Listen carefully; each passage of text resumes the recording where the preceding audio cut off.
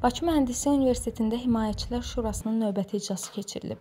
Şuranın sədri Təhsil Nazirinin müavini İdris İsayev ötən dövr ərzində Himayəçilər Şurasının tərkibində dəyişikliklərin baş verdiyini, Şuranın əsasnaməsinin təsdiq olunduğunu və bunun birgə səmərəli fəaliyyətə öz müsbət təsirini göstərəcəyini vurğulayıb. İdris İsayev bildirib ki, hazırda bütün təhsil pillələrində aparılan islahatlar ali təhsil pilləsində də uğurla gerçəkləşdirilməkdədir.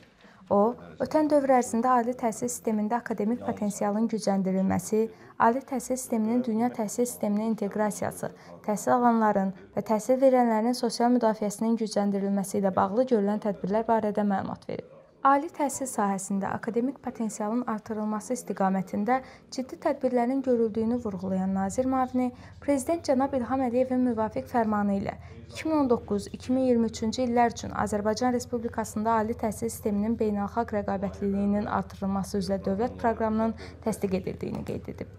O, dövlət proqramında ali təhsil sisteminin məzmun və keyfiyyət göstəricilərinin beynəlxalq ikili diplom proqramları, xarici mütəxəssislərinin cəlb olunması yolu ilə təkmilləşdirilməsi, yeni akademik mühitin yaradılmasının nəzərdə tutulduğunu qeyd edib. Nazir müavini Bakı Mühəndislik Universitetinin bu istiqamətdə işə başladığını və artıq Cənubi Koreyanın İnha Universiteti ilə anlaşma memorandumu imzaladığını diqqətə çatdırıb. Şuranın sədri Təhsil Nazirinin müavini İdris İsayev gündəlikdə yer alan məsələlərə toxunaraq Bakı Mühəndislik Universitetinin inkişafına dair 2020-2023-cü illər üçün strateji inkişaf proqramının müzakirə olunacağını da qeyd edib.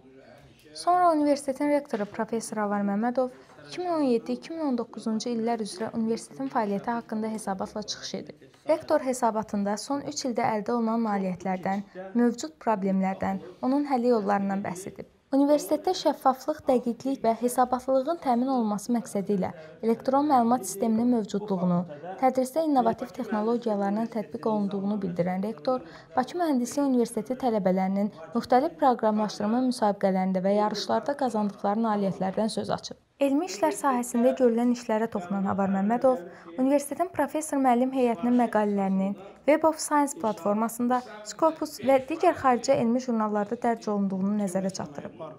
Xarici universitetlərlə ikitərəfli əlaqələrin qurulmasından danışan rektor, universitetin beynəlxalq təhsil proqramlarında, o cümlədən Erasmus Plus, Almaniyanın DEID tələbə müəllim mübadilə proqramı, ABŞ-ın Fulbright elmi tədqiqat işi üzrə mübadilə proqramlarında iştirakını vurğulayıb. Daha sonra iclasda universitetin 2020-2023-cü illər üçün strateji inkişaf proqramı, 2019-cu il büdcəsinin icrası və büdcənin 2020-ci il üçün proqnozu, 3 illik maliyyə fəaliyyəti barədə hesabat, həmçinin audit komitəsinin 2018-2019-cu illəri əhatə edən hesabatı dinlənilib.